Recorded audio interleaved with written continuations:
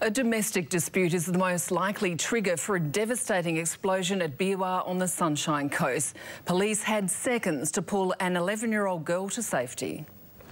Police were back at the Beerwah property trying to piece together exactly what happened, how the house exploded in a fireball just moments after an 11-year-old girl was rescued from the building. The detonation sent shockwaves through the usually quiet neighbourhood. Locals felt the blast 300 metres away. My house just started shaking, windows started shaking. You know, just looking out the window, and next thing I know, the house next door just literally explodes into flames and you know, glass flying everywhere. Police were attending a domestic disturbance at the time of the explosion. Oh, I just want to know what caused it. How could a house blow up? The Police Ethical Standards Command is also searching for answers.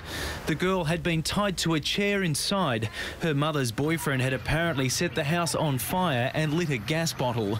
Witnesses say local police officers courageously entered the blazing home to save her less than a minute before it was blown to pieces. Police were, you know, getting this little girl out of the house or something and, you know, asking her some questions. Then they quickly hurried over here and say, oh, get in your house, going your house right now.